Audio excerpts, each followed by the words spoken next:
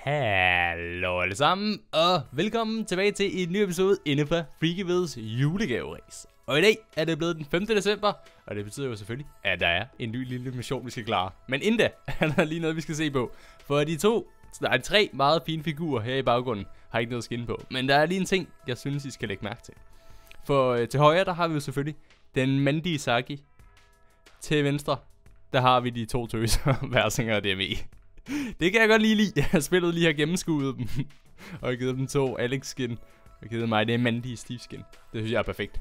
Nå, lad os gå ind og snakke på julevatten. Og se om han har forberedt en lille mission til mig. Øh, det ser sådan ud.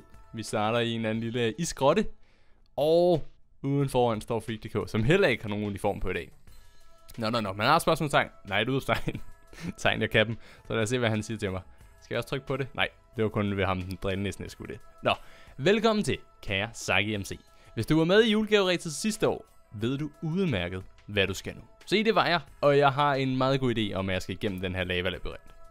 Ha, helt korrekt. Julemanden og jeg har forberedt dig en lava-labyrint. Mm-hmm. Find udgangen ved kagehuset i den anden ende, hvis du kan og tør. På her, I kender mig slet ikke. Og så held og lykke i chatten, når der er, trykker. I kender mig slet ikke. Selvfølgelig tør jeg altså. Bliver du skubbet, så spil 1,8 i stedet. Kan du ikke se noget, så stå med din klok for at skjulespiller. Tryk på din klok for at skjulespiller. Okay, jamen jeg, der er heldigvis ikke nogen, så jeg, kan, jeg behøver ikke rigtig at bruge min klok. Og så har vi et eller andet derude, men vi skal hen. Ups, ej, det, ja, det er tidligt. Det er, det er ikke en særlig god start. Jeg har ellers taget mælk med, så hvis der er på et eller andet tidspunkt bliver usynlig, så kan jeg lige drikke det. Men jeg har ikke lige valgt at tage noget vand med, selvom det kunne godt være, at det var det, jeg skulle have brugt. Eller en fire resistant potion. Nå, kagehuset er lige derovre, så lad os bare gå i nogenlunde den retning. Det var en... Det var, det var ikke den rigtige vej.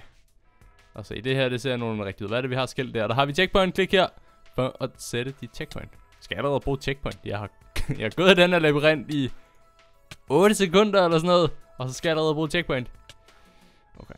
Kan jeg hoppe op på den? Det kan jeg ikke. Jeg tror, at jeg kunne parkour mig hen. Nå, vi skal ind til kagehuset. Skal vi se. Tricket ved de her labyrinter, der kun er en høj, ikke? Det er, at man lige kan hæve sig op i fugleperspektiv her. Og så kan vi lige prøve at se. Den rigtige vej, den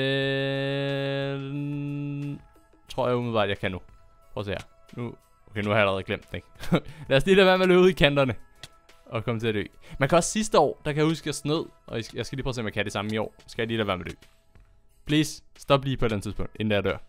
Sådan der. Lad os lige prøve at se, om jeg kan det samme som igen, som jeg gjorde sidste år. Skal se, udgangen den er faktisk lige her. Man skal bare følge vejen der, og så kommer de altså til kagehuset. Men lad os lige prøve noget andet mere episk i stedet for. Øh, lad os se.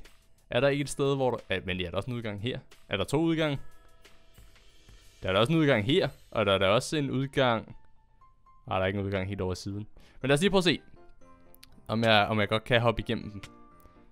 Skal se, er det her ikke en udgang? Jo, jo, det er også en udgang. Okay, der er åbenbart flere udgange. Ups.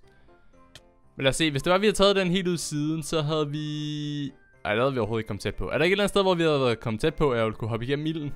Og vise mig som den crazy overlevelsesmand, jeg nu er? Hmm, skal vi se... Okay, lad os nu lege, at der var lukket af her, ikke? Og jeg gerne vil derover. Lad os lige prøve at se, om jeg kan hoppe igennem lavaen her. Og så overleve. Jeg skal bare lige have noget mere liv, selvfølgelig. Så vi skal lige, lige have fuld liv. Sådan der, så er der fuld liv. Okay, lad os lige prøve den her gang, og se om jeg også kan snyde den her gang. Jeg tror ikke, der er nogen barrier blocks her, vel?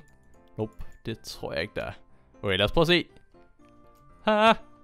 Haha, man kan stadig snyde. Der er stadig ikke blevet lavet barrier blocks oven på dem her. Hvilket, det havde også gjort det lidt nemmere, for os. der var barrier blocks her en højere, så ville man ikke rigtig ryge lava. Men det kunne godt have sat barrier blocks herop, sådan, sådan heroppe i luften. Så man ikke kunne gå alene sig op af dem, men man heller ikke kunne hoppe over lavaen. Nu er det, jeg dør. Nej, det gør jeg ikke. Super. Jeg kommer ind til kagehuset. Der er en masse kage. Er der nogen, jeg skal snakke med her? Sådan der. Godt klaret. Klik her for at klare løven. Okay. Jeg tror ikke, der er nogen, jeg skal snakke med. Jamen, jeg klikker for at klare løven. Nemt, vil jeg umiddelbart sige. Du fik to point for at klare dagens julekalender. Det var en af de, øh, det var en af de bedre. labyrinter har åbenbart min stærke side. Især når det er labyrinter med noget ild. Det er, ah, jeg tror også, den svære udfordring ved den labyrint der, det bliver nok, når der er, I skal klare Og der er så mange spillere. Selvfølgelig kan I bruge uret, som de skrev her, til at starte med. Men hvis der var, altså, hvis man ikke kunne bruge uret, og der bare var 100 spillere i ansigtet på en, og de gik og skubbede til en, så kunne det være ret sjovt udfordrende. Men øh, ellers så virker det som om, jeg havde styr på det. Så julemanden, den er også klaret. Så jeg venter spændt på at se, om du har en anden og mulig svær opgave til mig igen i morgen. Indtil da må I dog have rigtig mange tak for at sidde og se med på denne video. Vi skal selvfølgelig som altid have et spørgsmål, og spørgsmålet i dag kommer til at lyde på, hvem skal du holde jul med? Det kan du så gå ned og skrive ned i kommentarerne. Om det er familie, skal du holde jul flere gange. Det er der måske nogen af jer, der skal. Jeg skal selv holde jul to gange. Vi holder jul med min mors søster, og så holder vi jul. Vi plejer at holde jul med sådan en hele store familie, men i år der bliver det kun min lille familie, der holder jul. Som er ja, kun mig, min søster og min mor og far. Jepper. Så det skal nok blive meget hyggeligt. Men hvem skal du holde jul med? Det kan du eventuelt hoppe direkte ned i kommentarerne. Og skrive. Og så er du selvfølgelig med i Lost Giveaway, som jeg trænger en vinder på. På et senere tidspunkt. Det skal jeg nok komme meget med info om. I den aller sidste episode om, hvornår det er, jeg trækker vinder og giveaway og bla bla bla sådan noget. Yes. Kan du have det rigtig godt? Smid bare en like, hvis du godt kunne lide videoen. Jeg håber, du ser med igen i morgen.